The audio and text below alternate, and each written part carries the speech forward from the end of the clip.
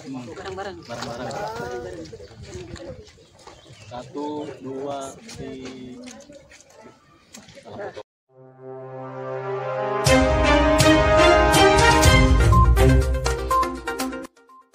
Wakil Komandan Batalion 3 Siliwangi, Kapten Arhanut Bobi Ahmadi, meninjau langsung kesiapan para prajurit TNI dan sekaligus meresmikan Kampung Pancasila, yang berada di Desa Cimanggu Kecamatan Palabuhan Ratu Kabupaten Sukabumi. Pada hari Kamis, tanggal 7 Juli tahun 2022, dalam kegiatan tersebut, terlihat banyak warga yang antusias untuk melihat jalannya peresmian Kampung Pancasila secara langsung. Wakil Komandan Batalion 3 Siliwangi, Kapten Arhanut Bobi Ahmadi mengatakan, dengan ini kami bisa meresmikan satu kampung Pancasila sebagai wujud dari kemanunggalan TNI dan masyarakat.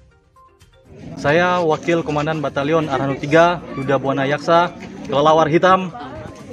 Kami berada saat ini di Desa Cimanggu, Kecamatan Pelabuhan Ratu.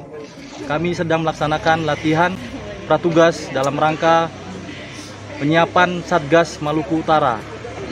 Kami mengucapkan banyak terima kasih atas dukungan, dorongan, dan support dari unsur desa karena dengan pelaksanaan latihan di sini seluruh komponen membantu kelancaran pelaksanaan latihan kami.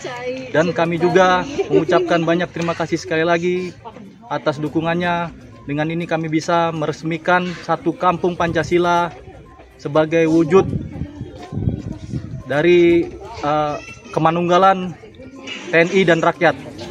Terima kasih. Sekian dari saya. Wassalamualaikum warahmatullahi wabarakatuh. Seluruh jalannya acara dilaksanakan dengan tertib, aman dan lancar. Dari Desa Cimanggu Kecamatan Palabuhan Ratu Kabupaten Sukabumi.